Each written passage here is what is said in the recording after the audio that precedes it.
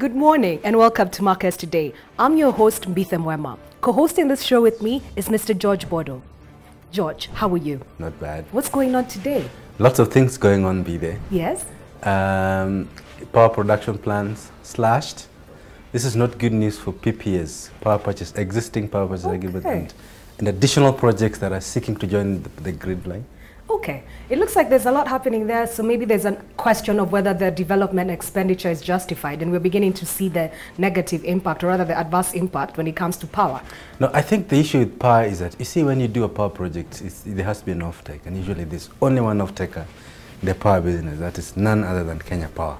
That's true. Yes. But then Now- again, if they're slashing it 30%, they're only saying that the growth is going 7%, which means they overestimated it prior to them even starting out on the capital expenditure.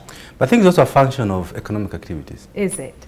Do you have, um, is there, it, I think for me, power, power, power consumption for me is, a, is an indicator of economic, the level of economic activities. That's when you're slashing off-take, it shows that, in my view, that there is some stagnation in the economic activities because ideally, production is supposed to be off, the uptake is supposed to be close to 90%. If That's you're having, you're having projections, you bring down your projection of tech, then the economy it's is really, the- is the economy really doing well? That's the point, yes. That's very true. So then if I hear what you're saying, we are probably overestimating the uptake and the economic output of this country, that, which, yes. which in a way could actually be pointing to an element of a need for a review of the Vision 2030. Because then how do you begin to justify the deficit that we have today? And a large chunk, I mean, a good chunk of that is actually allocated to development expenditure. Yeah. That's maybe something worth considering. But also saying, is- you- you- what you're also saying is that what happened to the last mile connectivity? That's true. Because what we're saying is that it, today Kenya, on-grid performance is about 80%.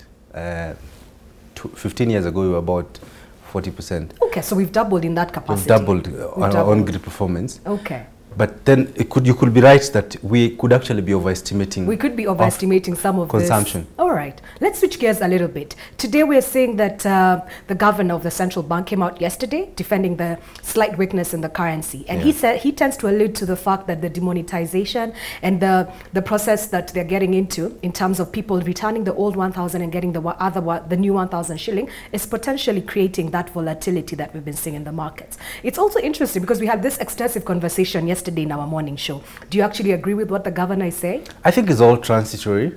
Everything for me is transitory. Um, I'm not worried.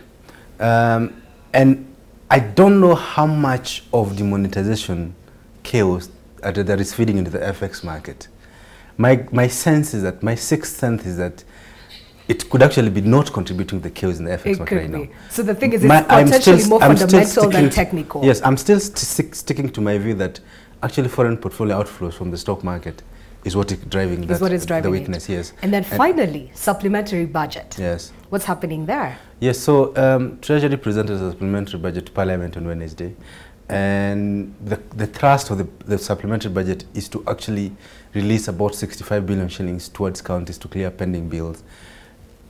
We have what, uh, we have about less than 10 days to, To the end year, of the fiscal the year. fiscal year closing. So is that rush? Okay. Well, it tells you something about fiscal planning in Kenya. How can you actually be 10 days to the end of the fiscal year? What that's you when you're rushing. last 12 months that's when to you're rushing to clear pending bills. I hope you don't have and any by the way, payments. that 65 billion shillings is about 60% of the outstanding. So you have about 40% that is going That's to roll still over. that's going to roll over to the next year. Yet consumption hasn't stopped. The government is still expending. It's a bit of an unfair The- the- situation. The, fiscal accounting in Kenya should move towards accrual. This cash accounting thing is not it's working. not working for Yes. us. All right, there you have it. Ladies and gentlemen, today we are taking a deep dive into the FI market. By FI, I mean fixed income market. To help us have this discussion, we are hosting Barry Omolo, who's from Standard Investment Bank. He's a fixed income dealer. For your benefit, yesterday the fixed income market was up 16% in terms of turnover. We saw 5.7 billion trade hands over the trading day.